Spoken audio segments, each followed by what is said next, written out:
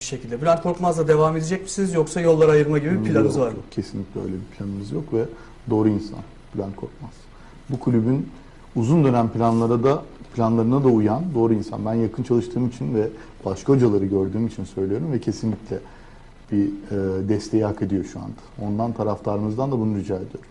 Başkanım hedef konusunda bazı sıkıntılar oldu. Şimdi baktığımızda e, zaman zaman Avrupa hedefi dillendirildi. İşte Bülent Korkmaz'ın zaten en çok eleştirilen noktalarından bir tanesi de buydu. Hani e, Antalya Spor'un net bir şekilde dile getirmesi, hani kümede kalmanın hedef olduğu yönünde o imalarda bulunan açıklamalarda bulunuldu ki e, en çok tepki de bunlara geldi. Antalya Spor olarak yani bir numarası sizsiniz şu anda Antalya Spor'un.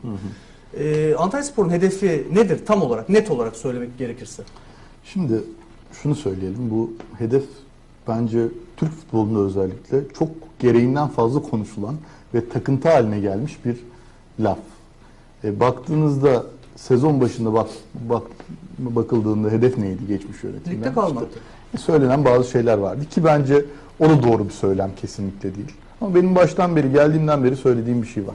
Tabi arada e, basın toplantılarında da farklı şeyler de söylenmiş olabilir ama e, benim tarafımdan olmasa da ama şu her zaman bence hedef şu olmalı. Yani her maça kazanma amacıyla bakmalısın.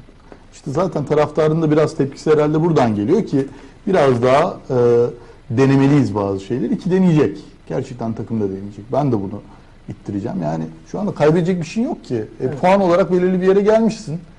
İyi bir yerdesin. E, risk alalım o zaman. Girelim yani. Ve bu duruma da gelecek. Söylüyorum takım da daha fazla deneyecek, daha fazla efor sarf edecek ama performansta inişler çıkışlar ve va- vardır her zaman.